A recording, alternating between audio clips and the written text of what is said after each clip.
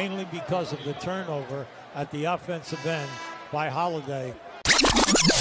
Good deflection by White and Tatum now in the open floor. Oh, Giannis went at him and Tatum slammed it and got fouled and Tatum might be hurt. I'll say this is just a Great play that three time. on one, three on one. Giannis and he's oh. grabbed by Grant Williams. Uh-oh. Giannis hits the deck. Easy. Now. steps in. Five on four. Giannis bringing it all the way. Right. Fires to Holiday for the layup.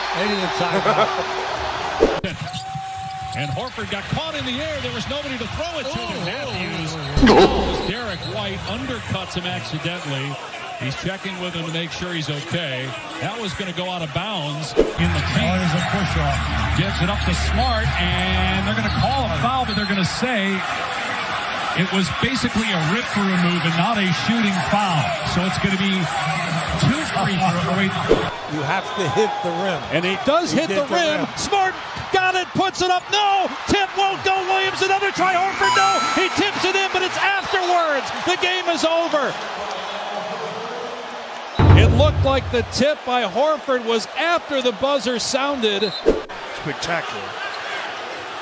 Draymond Green actually leaving the court. He's upset. Morant from half court. Oh, he puts it in! Ja Morant from half court at the buzzer. double bigs as you see Ja Morant frustrated with his injury. And a bunch of turnovers early as Morant is fouled.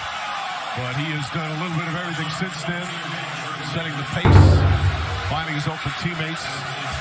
As that's five fouls now on Wiggins.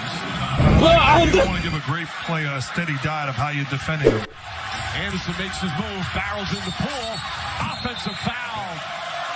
Well, sometimes you got to. I'm sorry, Mike. Technical foul, Michael Mark on Kyle Anderson. This is what drives me crazy as they throw Kyle Anderson out. I frankly don't understand why